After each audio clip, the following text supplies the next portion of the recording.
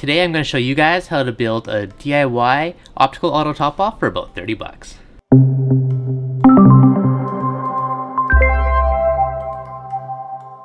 Hey guys, Devin with Reef Dudes.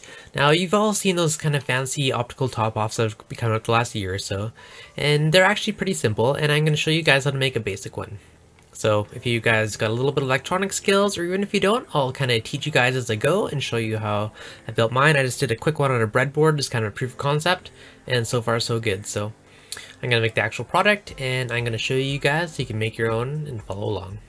Uh, so just to start out, there's actually a very basic circuit. We got a 12 volt power source coming in. It goes into a 5 volt regulator. Now we're dropping to 5 volts because that's what this sensor takes. Our optical sensor runs off 5 volts. Um, now how this works is there's a little infrared sensor in there and it reflects the light back at itself.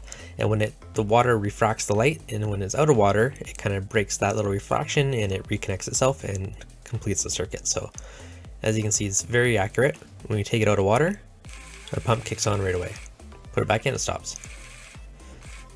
Now the only one little caveat with this, um, very precise, because I mean the water drops a millimeter, it'll kick on. Um, if you put it sideways, it will kick on right away. Sometimes if it's 100% vertical, it may take a few seconds, just because if there's a drop of water sitting there, it'll have to wait for a couple seconds till it falls off. So if you want it instant, put it sideways, if you put it straight down, which is what I'll probably do, you know, it will still kick on after that drop falls, so still pretty darn accurate. So very simple circuit, a couple resistors, 5 volt regular, little MOSFET, optical sensor, and a dosing pump. So let's hop on the computer and I'll show you kind of a easy little circuit diagram of how I actually make it and then we'll build it and get this on the tank. So, so let's show you guys how I actually built this. We're going to use this little circuit diagram just to kind of help visualize it. It's a little easier than looking at a little mess of wires on the breadboard. Um, so this is just going to sub in for our 12 volt power supply. Uh, next we have a 470 ohm and a 1k resistor. We have our 5 volt regulator, a MOSFET, that we're going to pretend this is our optical sensor and we're going to pretend this little motor is our doser. So to start out, we connect our just power and ground. So these are just putting the wires on the breadboard. I can actually change the color of these. So I'm going to do that to match up just to make it easier for you guys to see. So this is our ground, which is black. And this one will be our red for power. So we've got our 12 volt power. Um, the first thing we're going to do, so looking at our circuit for the optical sensor, it wants 5 volts. So what we're going to do is use a 5 volt voltage regulator. And to do that, so looking at this, the pin number 1, so when you're knowing which pin's which, um, it will be flat on the back and a little bump on the front. The bump on the front is the way I always look at it, and also have the writing. So LM7805 is the part we're going to be using. So it goes input, ground, and output. So input is going to be our 12 volts, so let's just connect this straight up to here. So 12 volts in and our ground. And let's change the color colors to make it easy for you guys, red. And the last pin is our output. So our output we're just going to bring over to here for now, and that can be white. Okay, so our output. Now from here, we need to take our 5 volt power and connect it to our optical sensor. So we're going to pretend this right here is our optical sensor. And looking at the diagram, uh, so we got pin blue, and so blue and white wire both go to that, both go to 5 volts. So here's our blue, uh, blue wire, there's our white. Okay, so when you guys, if you're using a breadboard, if you've never used one, each one of these rows connects together. So those two pins are basically joined. I'll do the jump wire. Okay, so these two are both going to 5 volts.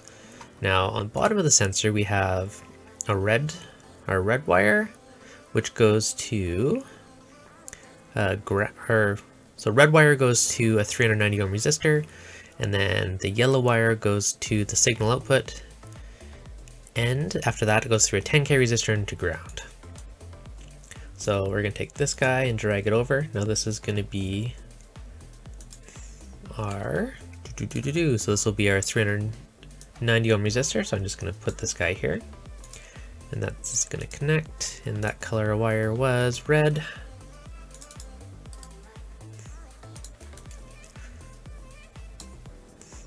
And that goes to ground. So dropping that down here that's the exact same as connecting it to that black wire over there. So let's just make that black Now the next pin we had is a yellow pin. Now yellow goes our signal output as well as through resistor into ground. So I'm going to put this guy over here. We'll drag our resistor down. And this one's our yellow wire from the optical sensor. And this guy also then goes to ground. So they both go straight down here. They're both connected to our negative wire or our ground on our 12 volt regulator. And do do do do, so let's change it to black. So ground, ground, ground. Now for the sensor, the output comes off of the yellow wire. So this is our, what's there? So now our output, we're gonna bring this down. This is our MOSFET. And how this one works is we have our gate, drain, and source. Now the gate is basically like our switch. So we're going to take that yellow wire from here and connect it to our gate. So that's going to be kind of the thing to say turn on or off. Now looking at this, we have our drain, which is our output, and our source is where the connection is coming from. So the source, we're going to hook this guy straight up to ground. So this guy goes to ground, so our black wire. And the ground, so what is happening is when it flicks the switch, it's basically connecting the ground. Now we have our source wire here. So our source wire, our drain, sorry, is going to connect to the pump. So our drain, so it's basically when this wire is active, it's gonna go from the source to the drain. So we're turning that out now. So that's just gonna ground out our motor. And the only thing left to do is connect this guy to positive. So go bloop, and we'll turn that to red. So this is how you wire it up. Uh, do, do, do, do, red. So there you go. There's our circuit fairly easy to do. I mean, might look a little complicated if you've never done it before, but just quick overcap. We got our 5 volt voltage regulator. You take the red and black wire, connect it to the first two pins. The pin 3 connects to the blue and white pin. So you can just slice, splice them together, you can solder them together on your optical sensor. The red wire goes through a 390 to 470 ohm resistor, then to ground. The yellow wire goes to a resistor, and then to ground. Then we tap into that yellow wire before the resistor. That goes to the gate on our MOSFET. And then the second one is the drain, which is the output of the MOSFET, goes to the negative on the motor or the ground. And the source, where you just plug to ground. Now on the motor, we just have our drain from the MOSFET and our power. So pretty simple circuit. And when you put it all together, we got our cool little super duper simple auto top off. Now using these little dosing pumps, they're pretty easy to do. Um, just to quickly show you again, that's our, our, our, basic basic circuit. This is kind of a messy, more stuff that I need on the board, but kind of simple way to show you guys. So I'm going to solder this up and make it. Now the only next thing to do, like it is very small part, so you can just pick up one of these little project boxes, you can solder everything together and put it one of these, and just literally have a power on the side, and connect it to your dosing pump. So I think I might actually make a little bit bigger housing that can hold made 3D printed, made find a little box, but I'm gonna see if I can put the motor, circuit, everything in it. So it's just one little tiny box with an optical sensor coming out. And I think this will be a nice compact little auto top off. So I'm gonna get to building. And if you guys wanna build your own, I'll have the parts list below. Otherwise, follow along as I build mine. So soldering really isn't that hard. I use this one of these little blank through-hole breadboards and soldered on all my pieces. I try to line it up so all the parts and pins are pretty much in a row, kind of based off the breadboard design. If you guys haven't soldered before, it really isn't that hard. Um, if you have a soldering iron, you literally just touch the solder to it, and once it's heated up, it just melts right around it and makes that solid connection. So it's a really easy way to attach wires and whatnot together. I did use a little pin header on this guy just so I can easily plug it in. Um, yeah, super quick and easy solder job. If you're very new to electronics, I mean that schematic will hopefully help you guys out, and if you haven't, you can feel free to ask any questions in the description below. As always, I'm always here to help you guys out. Now, I just want to give a quick shout out to my buddy Kyle, because he actually had did a similar little dosing pump, and he had a 3D printed house kind of already made, so I took his model and modified it a bit for my project, and it worked pretty well. So as you can see, it just sits right on top of the cap of my auto top off jug. Uh, the motor bolts right into the front, and it's extremely compact. It just, the cap holds it, and there's going to be like a little acrylic tube that goes down that's going to suck from the bottom of the jug. So let's find a couple little screws and we'll bolt the motor on.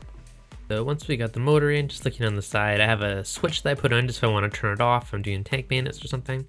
And also the power plug. The hole was a little small, so I just had to drill a bit bigger. not a big deal. Um, I use a stepper drill bit for this. These things are super handy. If you guys have been following me for a while, I also use the same things for drilling the holes in the DIY Voss water bottle dosing containers. Um, it's another super cool project, and I'll link that one at the end of this video if you guys haven't seen that one yet. So once all the holes are drilled, I poke the board inside to get all my switches, everything mounted, and I just have to solder up the little connections to the motor, the switches, and the power wire within the hole. Um, to put in a switch, you literally just split one of the wires off of the power plug and just put one side of the switch, each pin on the switch, and you're good. So super easy to add a switch into it, the mix. Then once everything's just about done, I just use a couple dabs of hot glue just to hold the sensor wire in place and the little board in the back, just so nothing's poking around or shaking around inside and potentially a pin hitting something. Now at the very bottom, I'm using a quarter inch acrylic tube, so I had to make the hole just a smidge bigger so the acrylic hose just fit in.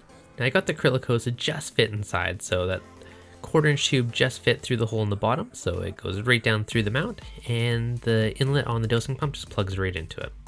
Now you guys see at the bottom, it's very, very sleek little compact unit. It's gonna look great, so let's get this baby installed on the tank. So I've now had the DIY dosing pump on the tank for about a week and it's been working great. I just wanna give it a good test run before I share this video.